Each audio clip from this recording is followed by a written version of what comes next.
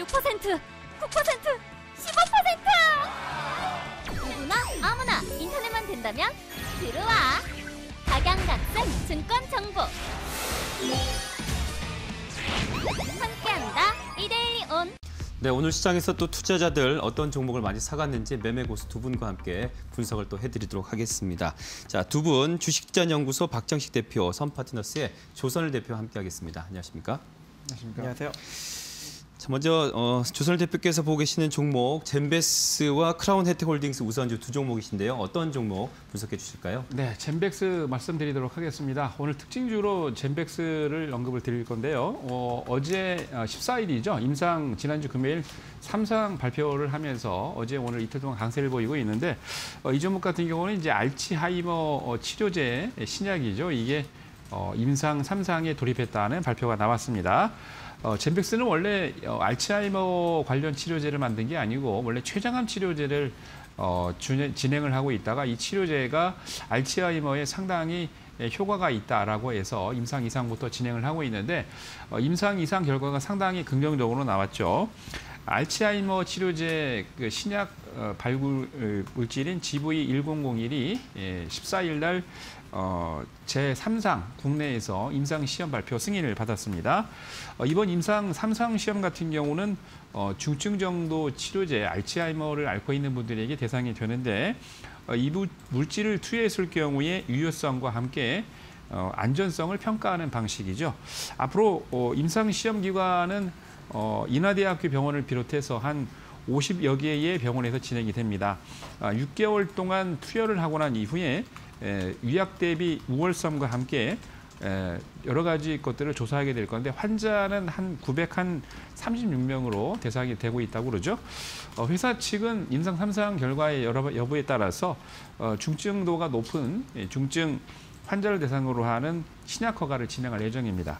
아, 여기다가 어, 말씀드린 대로 임상 이상에서 상당히 효과를 벗고 어, 굉장히 긍정적인 반응을 받기 때문에 좀 기대해도 될 만하다고 보여지고요.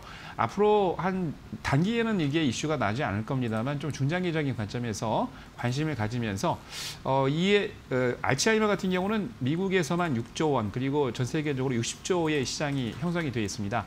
아직 알츠하이머 신약을 발표한 어, 제약사가 하나도 없는데 국내에서 좀 통과가 돼서 에, 잘 발표가 돼서 여러분들에게 또는 어, 국내외적으로 좀 좋은 일이 있었으면 좋겠습니다. 임상 진행에 대한 또 효과적인 또 긍정적인 시각 이야기해 주셨습니다. 그럼 박정식 대표님의 이야기도 들어보겠습니다. 네, 저는 SK 이노베이션 한번 보도록 하겠습니다.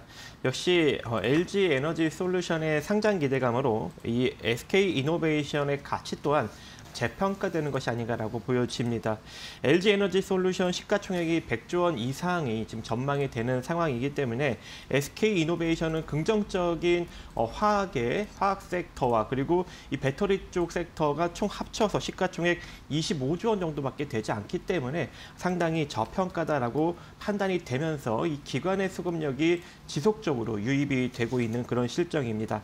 2차 전지 사업은 일단 분기 매출 기준으로 최초 원, 최초로 1조 원을 상회할 전망이고 또 흑자 절환이 올해 상반기로 관측이 되고 있기 때문에 어, 영업이익 또한 어, 올해 한 대략 5천억 이상 전년 대비 증가할 수 있는 가능성 존재할 것 같습니다. 거기다가 미국 조지아 공대 이수 이승우 교지, 교수진과 이 차세대 전고체 배터리를 협업으로 개발을 하고 있는데 이번에 개발한 고체 전해질이 기존 고체 전해질의 단점으로 꼽혔던 이온 전도도를 100 100배나 향상시킨과 동시에 약간 고무 고무같이 신축성까지 확보하고 있어서 앞으로 그 활용도가 상당히 높아질 전망이고 상용화가 된다면 현재 1회 충전 충전당 800km 정도로 어, 그 주행 거리가 향상될 가능성이 매우 높게 점쳐지고 있는 상황입니다.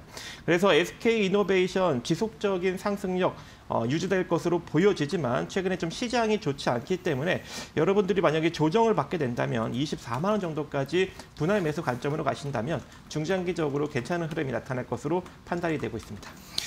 네, SK이노베이션 좀 분석해 주셨고요. 최근에 또 K, K방산에 대한 호재들이 좀 들려오는데 퍼스텍에 대한 분석도 잠깐 좀 부탁드릴까요?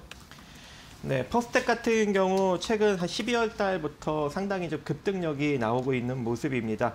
일단 어, 이 청궁 2와 그리고 최근에 이 삼성의 로봇 진출 기대감이 이 퍼스텍의 주가 상승력을 어, 견인한 것이 아닌가라고 보여지고 있는데요. 항공 우주 그리고 유도 무기 미사일 그리고 지상 무기 기동 및 화포 해상 수중 무기 함포 자동 소화 장치 무인화 휴대용 소형 로봇 이런 것들을 아, 다양하게 지금 생산을 해내고 있기 때문에 최근 이 미사일 호재와 그리고 삼성의 로봇 진출 기대감이 퍼스텍의 주가를 좀 끌어올리고 있는 것으로 보여집니다. 네. 거기에 삼성전자가 인수합병 소식이 좀 전해지면서 네. 그 그런 수혜주로 좀 거론이 되고 있는 상황입니다. 네.